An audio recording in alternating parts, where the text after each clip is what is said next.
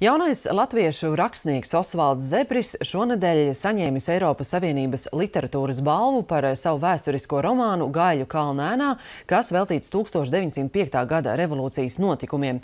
Šis romāns ir daļa no latviešu 20. gadsimta vēstures romānu sērijas, ko inicijēja Gundaga Repše, gaidot Latvijas simtgadi. Balvas pasniegšanā klāt bija arī mūsu korespondente Briselē Ilzi Nagla.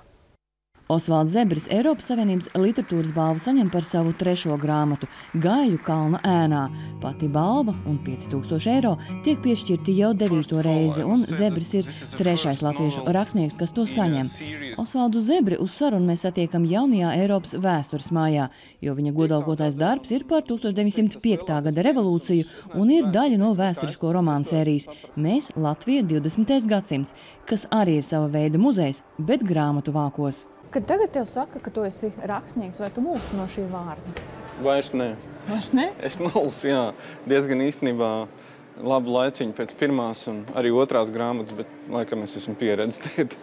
Es esmu priecīgs arī par to, ka šī balva īstenībā ļoti lielu uzmanību pievērsus vēsturisko romānu sērijai, kas ir tāds, nu, savu veidu jau latviešu literatūras zīmols, caur kuru arī mēs varam pastāstīt grāmatu tirgos un tiekoties ar izdevējiem arī par citiem, citām grāmatām, jo mums jau mūsu literatūra ir kritiski svarīgi tapt tulkotai un izdotai ārzemēs. Tavs romāns tagad tiks iztulkots arī angļu valodā. Cik vispār latviešu romāniem ir viegli tikt angļu valodas tirgū?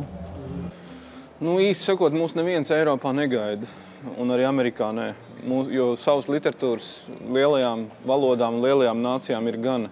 Tāpēc šī popularizēšanas kontekstā šāda balva ir kritiski svarīga. Bet tad, kad tu piesēdies un raksti romānu, tu domā par savu lasītāju, vai tu kā par klientu, jo jebkuram rakstniekam tomēr ir svarīgi, lai viņa grāmatu gala rezultātā arī nopērk.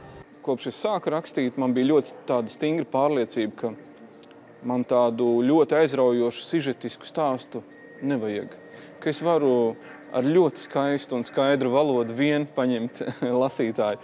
Bet es sapratu, ka tā tas gluži nav, un eh, šis eh, Gaļa kalnēnā romāns ir, eh, teiksim tā, es viņā esmu integrējis arī stāstu klasiskā izpratnē, kur notiek notikumi un ir pavērsieni un tā.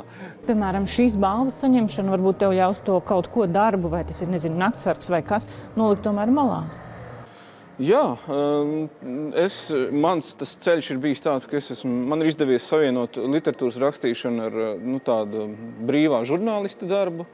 Un droši vien, ka es nu, pavisam noteikti es varēšu nu, kādu laiciņu domāt par savu nākamo grāmatu vairāk. Ilza Nagla, Aigars Kovaļevskis, Latvijas televīzija no Briseles.